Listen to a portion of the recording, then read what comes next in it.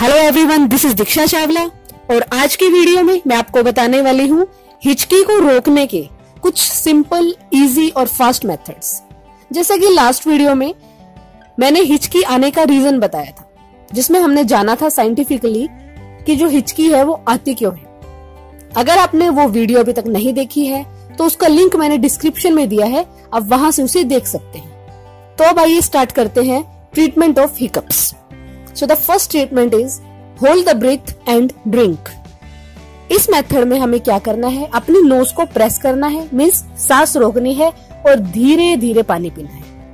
इससे हिचकी में बहुत ही जल्दी आराम आता है। सेकेंड मेथड है लेमन हनी इस मेथड में हमें आधे नींबू के रस में एक चम्मच शहद मिलाना है और इस सॉल्यूशन को पीना है।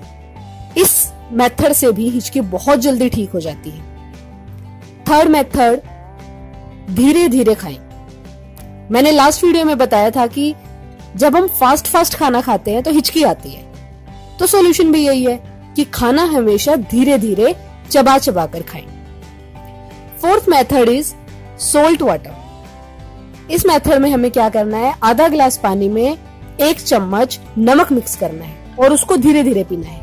इससे भी हिचकी बहुत ही जल्दी ठीक हो जाती है। Fifth and the last method is black pepper इस मेथड में हमें क्या करना है? दो काली मिर्च और मिश्री को मुँह में रखना है। काफ़ी देर तक उसको मुँह में रखना है।